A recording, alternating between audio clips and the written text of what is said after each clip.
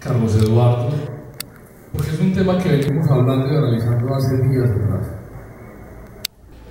Yo quiero ser muy breve porque hoy vinimos a escuchar a dos grandes conferencistas que saben muchísimo de este tema y es importante para el crecimiento de cada uno de nosotros y especialmente de ustedes que son la junta directiva de los distintos municipios del suroeste antioqueño.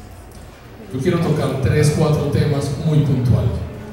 Uno, articulación.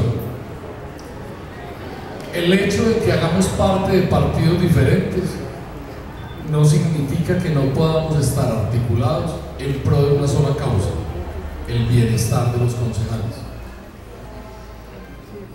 Hago referencia cuando fui edil de la ciudad de Medellín empezamos a liderar el proyecto de que los ediles tuviésemos remuneración. Hicimos un trabajo visitando, y, lo lideré en su momento, visitando ediles uno por uno de cada una de las comunas de Medellín. Medellín está dividido en 16 comunas, 5 corregimientos. Hubo ediles que no firmaron ese documento y, y uno les preguntaba, pero, pero señores, es por el bien de los ediles para que tengamos, lo que se exigía no era remuneración, sino seguridad social para los ediles. Y hubo ediles que no lo firmaban y lo decían, no, es que eso lo está proponiendo el partido X y nosotros no somos amigos del partido X.